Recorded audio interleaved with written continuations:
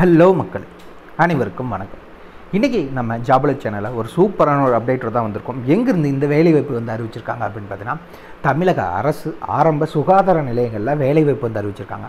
அதை பற்றின முழு தகவலையும் தான் இந்த வீடியோவில் நம்ம பார்க்க போகிறோம் இந்த வேலைவாய்ப்புக்கு நீங்கள் விண்ணப்பிக்கணும்னா இதுக்கான வயது வரம்பு மினிமம் பதினெட்டு முதல் மேக்ஸிமம் நாற்பத்தி ஐந்து வயது வரை உள்ள ஆண் பெண் இருபாலருமே இந்த வேலைவாய்ப்பை பொறுத்த வரைக்கும் நீங்கள் தாராளமாக விண்ணப்பிக்கலாம்.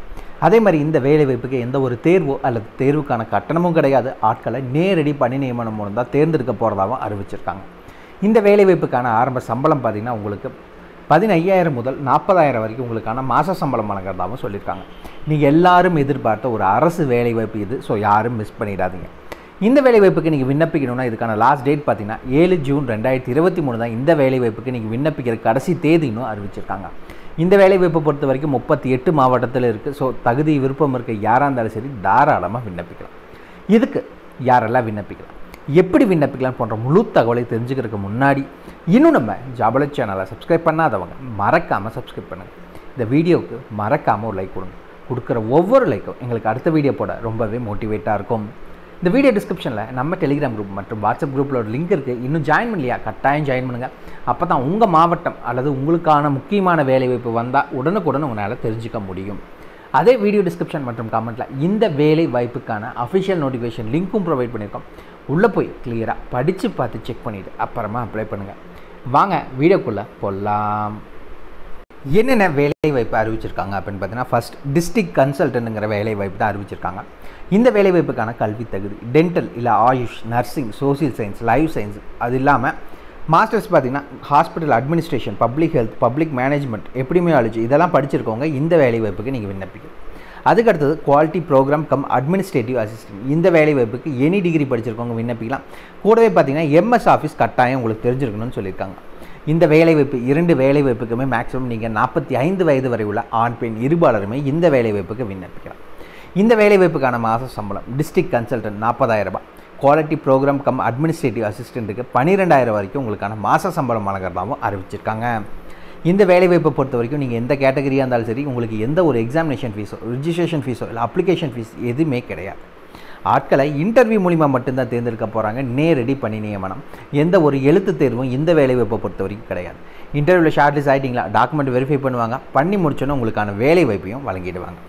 இந்த வேலைவாய்ப்புக்கு நீங்கள் எப்படி அப்ளை பண்ணணும் அப்படின்னு பார்த்தீங்கன்னா வீடியோ டிஸ்கிரிப்ஷன் மற்றும் கமெண்ட்டில் நம்ம வெப்சைட் லிங்க் கொடுத்துருக்கோம். கிளிக் பண்ணுங்கள் உள்ளே போய் எல்லாத்தையும் கிளியராக படிங்க. இந்த வேலைவாய்ப்புக்கு பார்த்தீங்கன்னா அஃபிஷியல் அப்ளிகேஷன் ஃபார்ம் எதுவும் கொடுக்கல. அவங்க என்ன சொல்லியிருக்காங்க அப்படின்னு பார்த்தீங்கன்னா ஒன்று கையில் எழுதுன மாதிரி அப்படி இல்லைன்னா டைப்டு இந்த ரெண்டு மாதிரி நீங்களே ஒரு அப்ளிகேஷன் ஃபார்ம் ப்ரிப்பேர் பண்ணுங்கள் அதில் ஃபோட்டோ ஒட்டிக்கோங்க. எல்லா டீட்டெயில்ஸ் இருக்கிற மாதிரி உங்களுடைய அப்ளிகேஷன் ஃபார்ம் இருக்கணும். பண்ணிவிட்டு கீழே மறக்காமல் பிளேஸ் மற்றும் டேட் என்னங்கிறத மென்ஷன் பண்ணிவிட்டு ரைட் சைடில் உங்களுடைய சிக்னேச்சர் போட்டுக்கோங்க. போட்டு அந்த அப்ளிகேஷன் ஃபார்ம் மாதிரியே வச்சு நீங்கள் அந்த அப்ளிகேஷன் ஃபார்ம் கூட என்னென்னலாம் வச்சு அனுப்பணும் அப்படின்னு பார்த்தீங்கன்னா education certificate experience proof address proof ID proof date of birth proof community certificate இது எல்லாத்தையுமே வச்சு ஒன்று நேர்லையோ இல்லை தபால் மூலிமா போய் விண்ணப்பிக்கலாம். எந்த அட்ரஸுக்கு அப்படின்னு பார்த்தீங்கன்னா the executive secretary district health society deputy director of health services Lakshmanan Shri Tirupattur six three five six zero ஒன்னுங்கிற அட்ரஸுக்கு நீங்கள் தபால் மூலிமாவோ இல்லை நேர்லையோ நீங்கள் கொண்டு போய் விண்ணப்பிக்கலாம். இந்த வேலைவாய்ப்புக்கு நீங்கள் விண்ணப்பிக்க வேண்டிய லாஸ்ட் டேட் ஏழு ஜூன் ரெண்டாயிரத்தி இருபத்தி மூணு. இதுக்கான அஃபிஷியல் நோட்டிஃபிகேஷன் லிங்க் கொடுத்துருக்கோம்.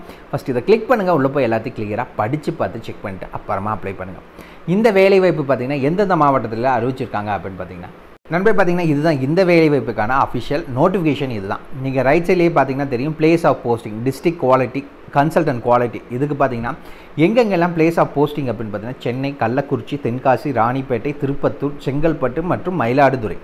இந்த இந்த டிஸ்ட்ரிக்டில் எல்லாத்துலேயும் இந்த வேலைவாய்ப்பு இருக்குது அதுக்கு அடுத்தது நீங்கள் program cut cum administrative assis assistant இந்த வேலைவாய்ப்பை பொறுத்த வரைக்கும் முப்பத்தி எட்டு மாவட்டத்துலேயும் இந்த வேலைவாய்ப்பு இருக்கிறதா சொல்லியிருக்காங்க.